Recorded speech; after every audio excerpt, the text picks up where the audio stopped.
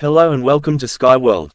Wimbledon winner calls out Emma Raducanu for ridiculous move-in complaints. Emma Raducanu has been criticized for some of her career decisions. Emma Raducanu has been called out for her ridiculous coaching decisions after explaining why she goes through her mentors in quick succession. Fellow British Grand Slam champion Ann Jones said players had to answer their own questions as she hit out. And the 1969 Wimbledon winner also had a theory about Raducanu's injury struggles. Raducanu has struggled since winning the 2021 US Open as a qualifier, failing to replicate her success elsewhere and dealing with major injury setbacks. The former world number 10 underwent three surgeries in May on both of her wrists and one ankle. And she has yet to nail down a consistent team since her triumph in New York. Three-time Grand Slam champion Jones has now weighed in on Raducanu's nightmare couple of years, criticizing her attitude towards coaches. It comes after the 21-year-old recently admitted that she previously ended coaching partnerships after her mentors. We had to find our own answers. You have to work at things yourself, Jones told the Daily Mail.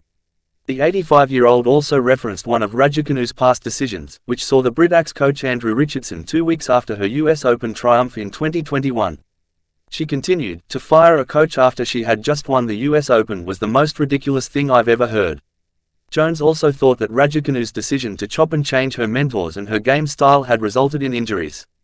Life is about momentum. If you've got the momentum, you have to take advantage of it and carry on, she explained. You've got a natural game. What you need to do is to improve what you have got. You don't have coaches come along and change your game. The results are clear. You get injured because it's not natural for you to hit the ball in that way. It was natural to hit it the way you hit it in the first place. Raducanu is set to make her return at the ASB Classic in Auckland at the beginning of January but Jones isn't sure whether the young Brit can rediscover the form that helped her win a major. She added added, how do you recover your natural game after it has been changed? It's very difficult to find what you had before.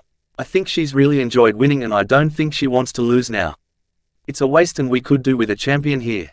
Jones' comments come after Raducanu addressed her tendency to go through coaches in quick succession. The 21-year-old worked with five different mentors in the space of 18 months and is currently without a proper team as she bids to make her comeback. I ask my coaches a lot of questions, I think that on certain occasions they haven't been able to keep up with the questions I've asked so maybe that's why it ended, she told BBC Radio 4 Today.